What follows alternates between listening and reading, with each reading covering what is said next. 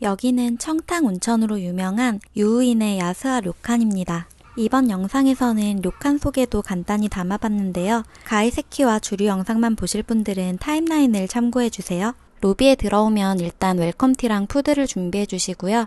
로비에 있는 물과 녹차, 레몬 사와는 free입니다. 이제 체크인을 마치면 방으로 안내해 주시는데 저희가 예약한 방은 이렇게 생겼습니다.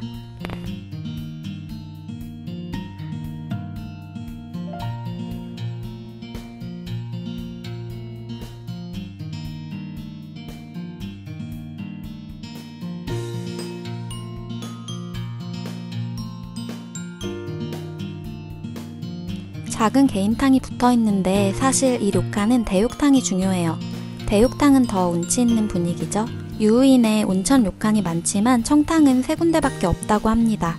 맑은 푸른빛을 띠고 있는데 물을 실제로 만져보면 뭔가 부들부들하고 미끈미끈한 느낌이 나더라고요. 저는 다음날 아침에 이용했더니 사람이 한 명도 없어서 한가하게 온천을 즐길 수 있었습니다.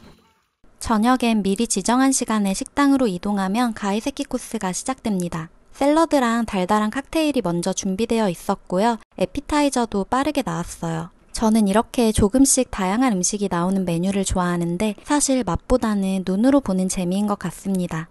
일단 술을 시켜야죠. 술은 사케부터 와인, 맥주 등이 종류가 많진 않지만 골고루 준비되어 있었어요. 뭘 마실까 하다가 야스아 오리지널이라고 쓰여 있는 4,400엔짜리 사케를 주문했습니다. 참고로 일본에서 사케를 드실 때 드라이한 맛은 카라구찌, 달달한 맛은 아마구찌라고 하는데요. 이것만 취향에 맞게 미리 확인하고 주문해도 실패를 좀 줄일 수 있습니다. 이건 엄청 깊이 있는 맛은 아니지만 부드럽고 산뜻한 맛이 먹기 좋았어요. 개인적으로 일본에서는 확실히 사케 가성비가 좀 만족스럽더라고요. 두 번째 메뉴로는 단호박 스프 같은 게 나왔는데요. 밥알 뭉쳐놓은 것 같이 생긴 완자에서 뭔가 콩맛이 났어요.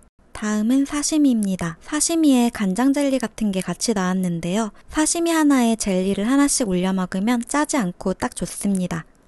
그리고 귀여운 하루에 오이타 와규가 1인당 3점씩 나왔습니다. 와, 이거 왜 이렇게 맛있죠? 개인적으로 기름진 부위를 좋아해서 살치살처럼 살살 녹는 와규가 진짜 맛있었어요. 다음은 따뜻한 국물이랑 같이 나온 생선 요리고요. 그 다음도 생선 튀김입니다. 이제 식사 메뉴가 나왔는데 연어장처럼 절여진 이 생선 요리는 로컬 푸드라고 하네요. 좋아하는 스타일이라서 맛있게 먹었습니다. 마지막으로 디저트가 나오고요.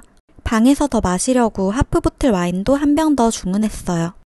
방으로 돌아오면서 무료 제공되는 레몬 사와도 가져왔는데 이거는 너무 셔서 먹을 수가 없습니다. 제가 신맛에 좀 약한 편이거든요. 와인은 조세 페블레 브르고뉴 피노인데 딱 레지오날급 피노의 느낌입니다. 붉고 산미 있는 맛에 그렇게 섬세하진 않은데 그래도 무난하게 반병 정도 먹기엔 괜찮았어요. 편의점에서 사온 주전부리랑 함께 했습니다. 료칸에서는 다음날 조식도 제공됩니다. 역시나 아기자기하고 귀여운 아침밥을 먹고 이제 유우인 역 쪽에 있는 유노츠보 거리에 갈 거예요.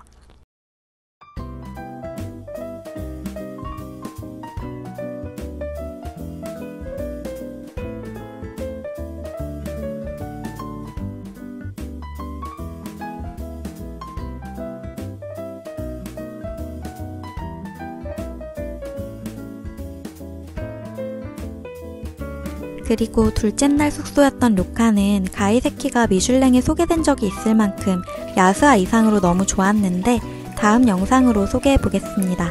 시청해주셔서 감사합니다.